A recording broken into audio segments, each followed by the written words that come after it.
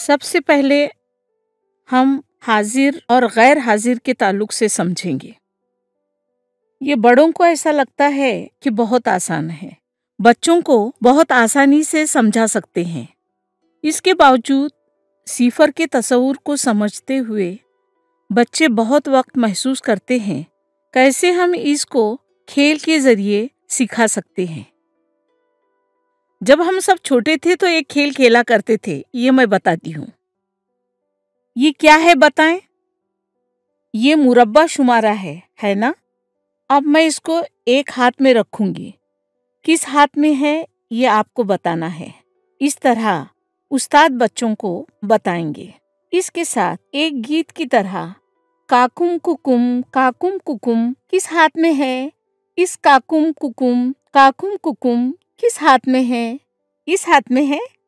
हाँ इस हाथ में है, इस हाथ में है। वेरी गुड इस हाथ में क्या है? इस हाथ में कुछ नहीं है। ये हाथ खाली है।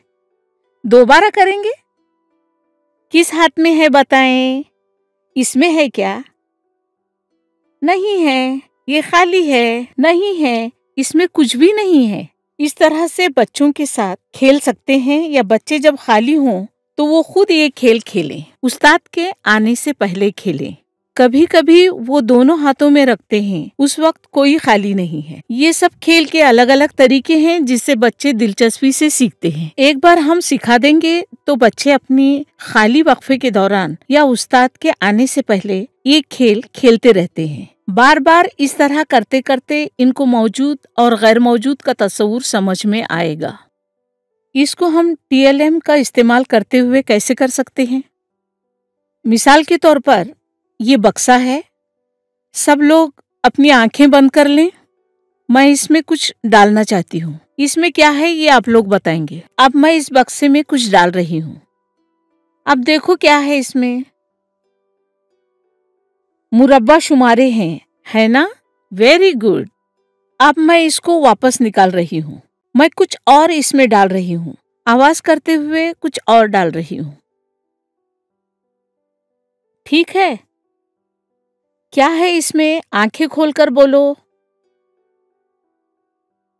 कुछ भी नहीं है। ये खाली है। है ना? इस तरह हम टीएलएम को इस्तेमाल करके मौजूद और गैर मौजूद के ताल्लुक से सिखा सकते हैं। ये एक आसान खेल की मश्क है। इसमें हम लिखना अभी नहीं सिखाएँगे, लेकिन सिफर के तस्वूर के लिए ये बुनियाद है। ये बात हमारे जहन में रहेगी तो हम इनको बार बार याद दिलवाते रहेंगे।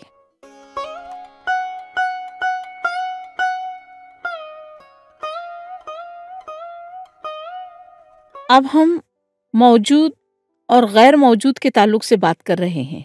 इसको बोर्ड पर टीएलएम की मदद से कैसे सिखा सकते हैं, ये हम देखेंगे। यहाँ पर दो थैलियाँ हैं। ये एक थैली है और ये एक थैली। इससे पहले जो हमने देखा था, इसी तरह इसमें चंद अशिया हम डालेंगे। इसको पानी में भिगोकर चंद अशिया को डाल रही हूँ। अब इन दो थैलियों में से किस थैली में अशिया हैं? इसमें है है ना? इसमें अशिया हैं। इसमें अशिया हैं। इसमें कुछ भी नहीं है। ये खाली है। बच्चों को बुलाकर उनसे पूछा जाएगा कि इनमें से कौन सी थैली खाली है। बच्चे आकर ये दिखाएँगे, इस तरह किया जाए। किसमें अशिया हैं, कौन सी थैली खाली है, ये बताना है। ये मौजूद और गैर मौजूद के लिए अजबात है।